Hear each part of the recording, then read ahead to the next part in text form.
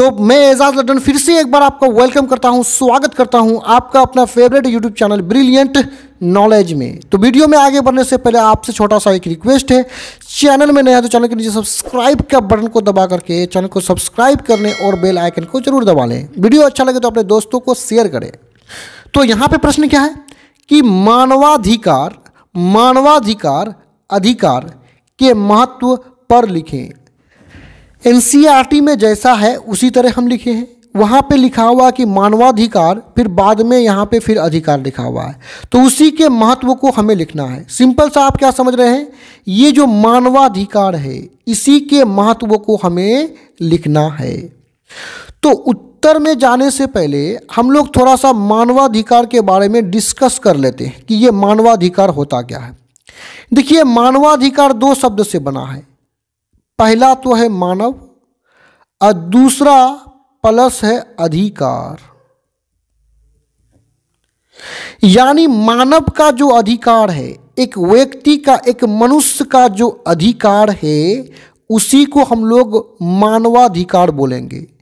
जब कोई मनुष्य जन्म लेता है तो उसको जीवित रहने के लिए उसको कुछ अधिकार चाहिए।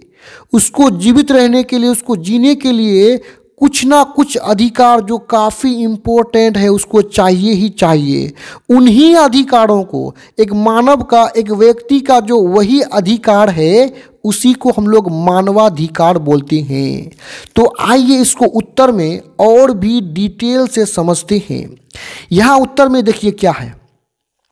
मानव को कुछ अधिकार जन्म से ही प्राप्त होते हैं। यानी जब कोई मानव जन्म लेते हैं तो जन्म से उसको कुछ अधिकार प्राप्त होता है।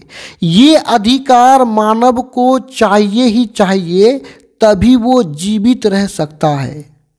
और उन अधिकारों में क्या है, आइए देख लेते हैं। जैसे स्वतंत्रता का अधिकार। यानी मानव जब जीवित होगा तो उनमें से एक अधिकार उसका है स्वतंत्रता। का अधिकार, यानी आदमी को जीने के लिए स्वतंत्र होना ज़रूरी है। यदि कोई व्यक्ति किसी का गुलाम है, किसी के अंडर में है तो वो स्वतंत्र नहीं है, यानी उसे स्वतंत्र होना चाहिए, आज़ाद होना चाहिए।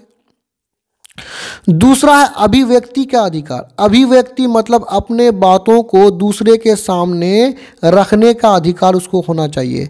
यानी मन के बातों को दूसरे के सामने रखना ही क्या है? अभिव्यक्ति तो उसका अधिकार होना चाहिए। न्याय पाने का अधिकार, यदि यदि किसी मनुष्य से किसी प्रकार का धोखेदारी हो तो उसे न्याय पाने का, इंसाफ पाने का अधिकार है, जिसे मानवाधिकार कहते हैं। यानी मानव के जन्म होते ही उसे कुछ अधिकार होता है, तभी वो जीवित रह पाएगा।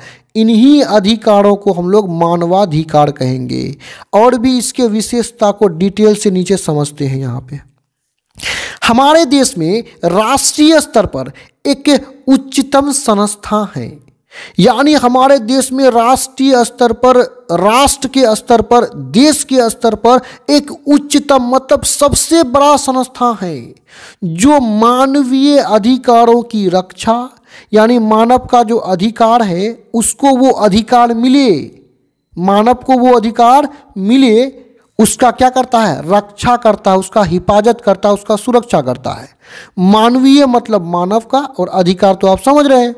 तो मानवीय अधिकार मतलब मानव का अधिकार। और आगे है उनके उनके मतलब मानव के अधिकारों से संबंधित हितों मतलब भलाइयों। यानी मानव के अधिकारों से संबंधित जो हितों हो, जो भलाई हो, के लिए सुरक्षा प्रदान करती है। यानी सिंपल सा है अधिकारों की रक्षा करती है। अधिकारों की क्या करती है? रक्षा करती है। और उनके जो अधिकार अधिकारों से संबंधित जो हित है, उसकी क्या करता है? सुरक्षा करता, वही रक्षा करता है। यहाँ पे रक्षा का भी मतलब होता है हिफाजत करना, सुरक्षा करना, और सुरक्षा का भी मतलब होता है रक्षा करना, हिफाजत करना। अब आगे इस संस्था को राष्ट्रीय मानवाधिकार आयोग कहते हैं। ये वही आयोग है जो मानव के हितों का रक्षा करता है। मानव का जो अधिकार है, उसका क्या करता है? रक्षा करता है। और मानव का जो अधिकार से संबंधित जो हित है, जो भलाई है, उसका क्या करता है? उसको सुरक्षा प्रदान करता है। अब आगे देखिए।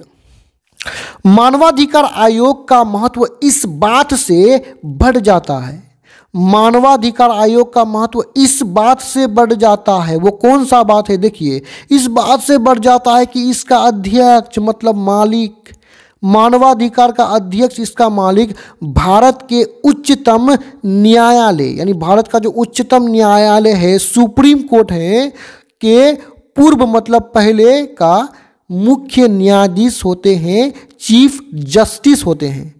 यानी उच्चतम न्यायालय का जो मेन जज होता है, जो रिटायर कर चुके हैं, जो पूर्व का है, वही जो है इस मानवाधिकार आयोग आयोग का अध्यक्ष होता है। आगे देखिए, इसी तरह देश के प्रत्येक राज्य में एक राज्य मानवाधिकार आयोग है। प्रत्येक राज्य में क्या है? राज्य मानवाधिकार आयोग आयोग का गठन किया गया है, उसका निर्माण किया है, गया है, उसको बनाया गया है। जो राज्य के नागरिकों के अधिकारों की रक्षा मतलब हिफाजत संबंधी बातों को देखती है।